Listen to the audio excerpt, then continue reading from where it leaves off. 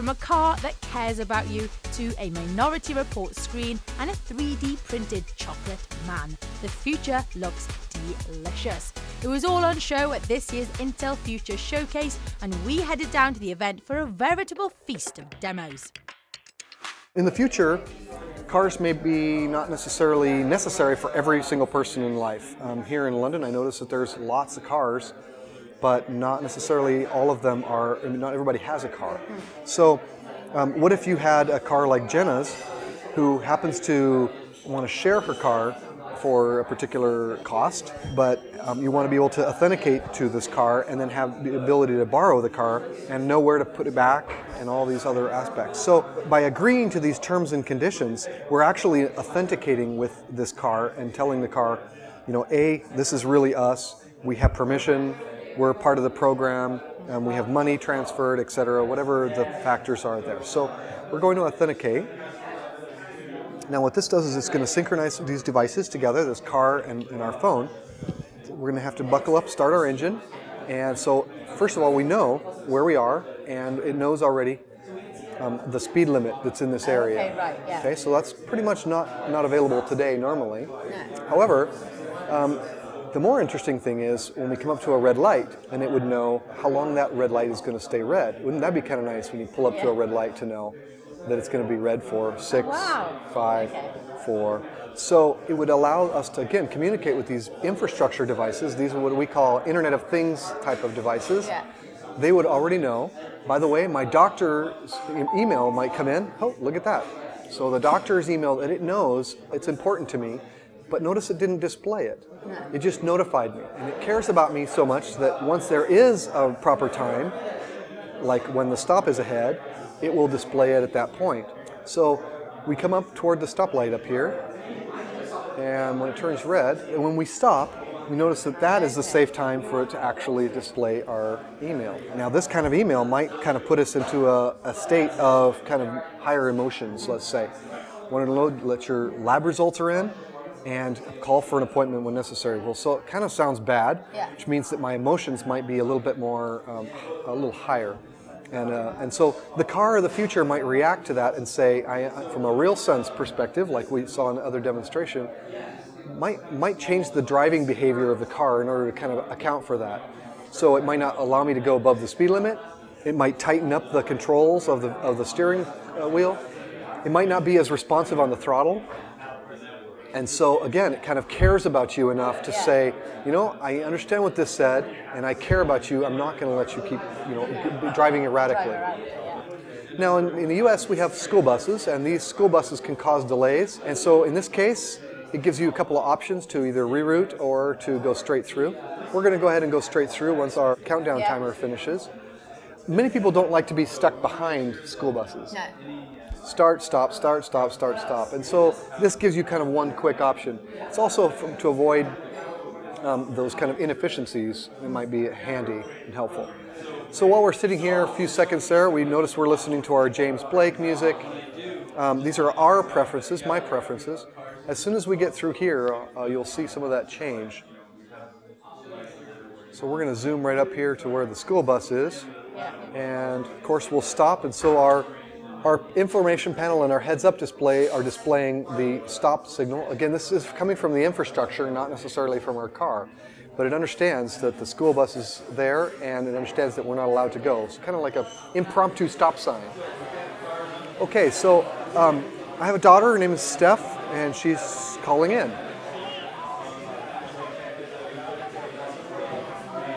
Okay, so because it's so noisy in here, it's hard to hear, but she just said, Hi, it's me. I'm finished with my practice and I'm starving. Can you come pick me up? So the car has already notified her where's a good meeting point, where uh, it's already started looking for um, great places to eat that she know that they knows about. All these are coming from uh, preferences that the car knows about in advance. Again, so we're going to go ahead and pull here. It looks like we've got our spot where it's, it's waiting for us to stop. And as soon as she gets in, then um, okay. So there she is, and she and now her, she's going to synchronize her device with here. Now her call list and her music Yeah. and her preferences, and she has the ability to kind of scan through her own map, not distract the driver. Yeah. But what that does is she says, "Oh, I want to go to the creamery and eat." So she's going to share that with the driver, not distracting me. I'm going to say, "Okay, I'll reroute there, and we'll go ahead and go to the creamery." Now the car is intelligent enough to understand we're going to the creamery. This is Jenna's car, and Jenna needs her car back fairly soon. So we're going to go ahead and put the car back where Jenna needs it, but as long as it's convenient for both of you. So it's already searching out where the good parking spots are in advance. Okay, so it's found two parking spots. One's metered and paid, and one's free. It knows that I'm kind of a cheapskate, so I'll choose the free spot. So we'll get to here, and as you can see, the creamery is not exactly immediately close to the parking, but it's close enough where we can both kind of agree on this, and Jenna will be pleased that her car is where she needs it, yet I can, don't have to drive so far. And so at this point, we put the car into kind of an auto park situation, and uh, that kind of concludes the, the uh, demonstration. You've seen Yeah. that this is really about um, you know customization, personalization, and, uh, and safety. And um, there are many aspects of that. And this is one one instantiation, one example of what we vision, envision could be in the future. What we've got here is we're showing the possibilities of when you combine a 3D display with 3D input. The 3D input is the RealSense camera, and the 3D display is actually a special piece of glass which is projecting the screen contents up into the air. So I can see right in front of me this globe and I can manipulate it with my fingers because the RealSense is tracking my hand. Here you can see I've got a sun, and when I move the sun, it casts the light over the earth. And just to show the th- three dimensions aspect of it, I can put it behind the earth, which is pretty cool. Um, this is a kind of virtual kiosk.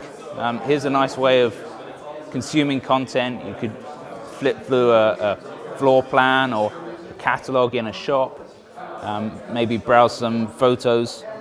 Um, this part of the, the demo shows that we've got multiple fingers being tracked. The different fingertips have got different colors. And you can see it's, it's pretty accurate. It's, it's right on the fingertips. Um, there's a, a nice demonstration here which also shows uh, how versatile the, the software is and how accurate it is on the finger tracking. The idea with this game is that you get rid of the tiles by pushing them, so one at a time. You can see, and, and for the user standing in front of it, it, it really is like there's a hologram here, and then the hand tracking is just making us feel like we can manipulate that actual hologram. So it's Minority Report esque. Underneath, we've got a screen, and then this, this is a special layer of glass. It's very custom and what it does is it only lets light through at one particular angle. So all the light that's coming up to it gets basically mirrored up into the air right here in front of us. So when you're standing in front, it looks like it's floating in the air. We thought, okay, if it looks like it's floating in the air, so it's really a 3D image, then we can manipulate that image by using the 3D input. And so we combined that. This is running on the computer inside, RealSense technology, and that knows where the hands are in relation to the image that's projecting. Perhaps one of the more surprising uses of a 3D depth camera is the, the fact that you can scan objects.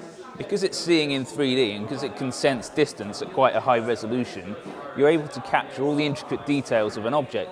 So here, we've taken the Intel Bunny Man and we've scanned it by rotating it in front of the RealSense 3D camera, like this. It's a fairly quick process, takes under a minute, and then you end up with an object like this. This object is captured in full 3D, very easy to edit, and what we did here is we put an Intel logo on the front and we just made the edges a bit harder around the mask. But the, the structure of the, the object is pretty much intact. And then as you can see here on my left, you can then print that out in 3D. So here's a sandstone print, 3D printed from this object model. Here we, we put a loop in the top and turned it into a keyring. This is actually printed stainless steel. This is a consumer grade uh, plastic print, something you could do at home on a relatively cheap 3D printer. Uh, this one's interesting. We did it quite small because it takes a while, but it's bronze.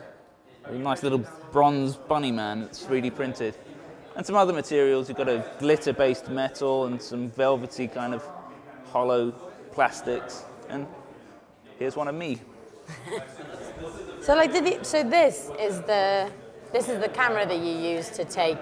This is the Intel RealSense 3D camera, yeah. Okay. And you can see here it's actually integrated into the top of the laptop. Ah, right, It's, okay. it's very thin. It's actually the thinnest, as far as we're aware, it's the thinnest in the world. And we designed it specifically to be put inside computers, laptop lids, all-in-ones, and other devices. So that's what's used to scan the object and then it saves it in here and then you. Yeah, that's right. It scans at a depth resolution of about VGA, so it's, it's relatively high resolution in terms of depth capture, and that enables you to get really quite a good quality scan. So the metal ones, so what 3D printer? Because I've never seen metal 3D printers. Specialist, yeah. And in fact, you can even print in chocolate. So there's lots of different material. You can print from nearly anything these days. The question is, can you do it as a consumer? To do something high quality like this, it's actually a professional quality printer. It's going to be quite large. It's got lots of uh, different colors in it and quite good definition. So that's going to be much more expensive. But something like this is significantly less than a thousand pounds uh, today. And it's enabling the maker community to do all kinds of really cool stuff, prototyping and building things. Yeah, because when I had mine done, it was just like a room full of cameras. It's very expensive, it's very specialist, it takes quite a while to process that kind of setup. The convenience is that you don't have to move, but using this camera, you have to rotate the object in front of it, but very inexpensive and very quick. So this is just a quick look at what's going on behind the scenes. Uh, the RealSense camera here is taking all kinds of depth information, and then what we try and do with the SDK is make that information available to developers so that they can add RealSense capabilities to their applications very easily, or relatively easily. On the right-hand side here, what you're seeing is the hand tracking. So we've got 22 joints worth of data, which is all the joints in the hand. And as you move your hand and grasp things and rotate your hand and move your fingers and bend your fingers and thumb. And it tracks where your hand is, and you can really just use that information to navigate in 3D space or to, to use gesture uh, implementations in your applications, for example. So that's pretty cool. And then on the left-hand side, what we're seeing is what we call um, 3D face tracking technology. And this takes 78 points from your face. And as I, you can see, if I move my eyebrows, it tracks. I open my mouth, rotate. So it enables the technology to really just understand me a bit better, track my emotions a little bit, understand my body language and, and my movements. So what kind of apps do you see? What, what, is there a kind of, has, has any developers used it or do you know? Yeah, we've, we've actually had 35,000 downloads of the SDK so far, so there's plenty of developers that are using it. And we're seeing a very broad range of uh, usages. There's some games, which is interesting. Uh, we're seeing some stuff with uh, removing the background. Um, so if I'm in the foreground of a video shot, then all the background around me can be removed completely, and so that's, that's interesting for privacy. It's also interesting for saving space on the screen. Um, we've seen some interesting stuff around 3D scanning, which we saw earlier.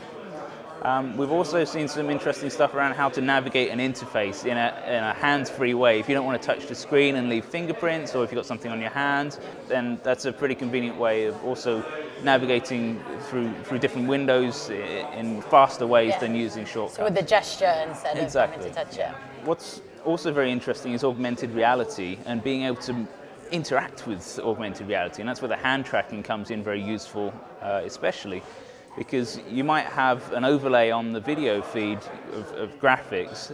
And what you can then do is start moving things, and, and that's interesting for school type examples or books where you can really make the, the characters and the, the things within the book come alive, and you can interact with them, play with them. You know, they can walk around with you, and you know, it just becomes a lot more immersive. So this is good for teaching kids and just bringing things more alive. It looks exciting, right? What future tech would you love to see? Let us know in the comments below and don't forget to subscribe to the channel and keep a locked to t3.com for the latest tech news, reviews and features.